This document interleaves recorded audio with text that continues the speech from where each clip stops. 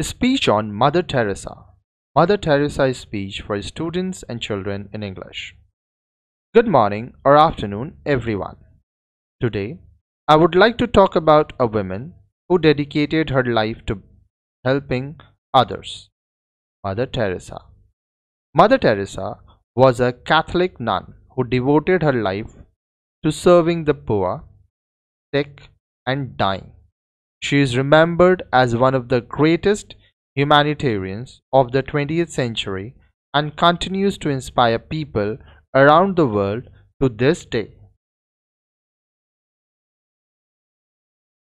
Mother Teresa was born in Skopje, present-day North Macedonia, in 1910. She joined the Loreto Convent in Ireland in 1928 where she took her first vows as a nun.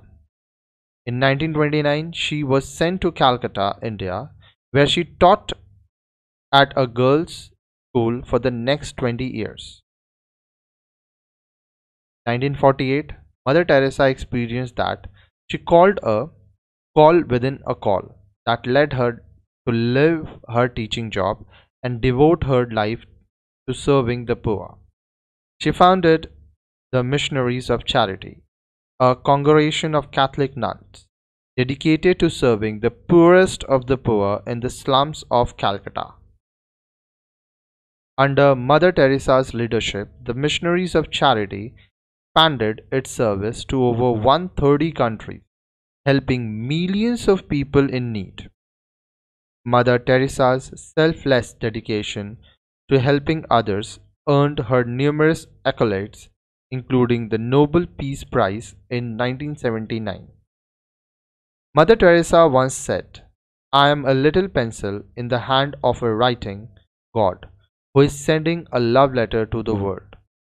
Through her actions, Mother Teresa showed the world the true power of love and compassion. She inspired people everywhere to follow in her footsteps and make a difference in the lives of others. Conclusion Mother Teresa's life and legacy continue to inspire people around the world to this day.